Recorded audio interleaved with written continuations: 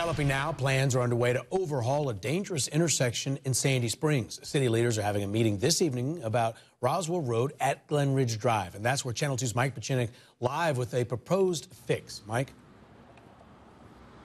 Justin, anybody who's driven on this stretch of road, Roswell Road at Glenridge Drive, will tell you it is a log jam and can be downright dangerous.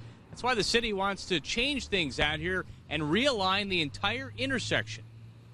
Hopefully, it'll be a great change to uh, stop the killing and the accidents. For 25 years, Sam McCormick has had a front row seat to the traffic nightmare that can be Roswell Road at Glenridge Drive. We can get out or in when there's been an accident. It's unbelievable. Devon Viejo says he's seen his fair share in just a few years. It's been like seven or eight accidents, including a fender bender Tuesday involving this white car. You have a higher than uh, expected uh, accident rate there because of that. Uh, the problems with stacking traffic and vehicles trying to move through the intersection at the same time. It's why Sandy Springs wants to overhaul the intersection, adding two left turn lanes on Roswell Road South and two more lanes on Glenridge Drive to handle the left turn traffic.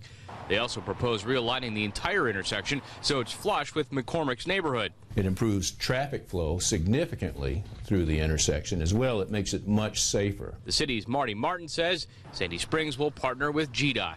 It's a project that's needed now, so we'd like to get to it sooner rather than later. Hopefully, Sandy Springs got it right, but after 25 years, it better be. And the city is holding a meeting tonight at the Hammond Park Gym to talk about those plans. It will run from 7 until 8.30. Reporting live in Sandy Springs, North Fulton County, I'm Mike Petchenik, Channel 2 Action News.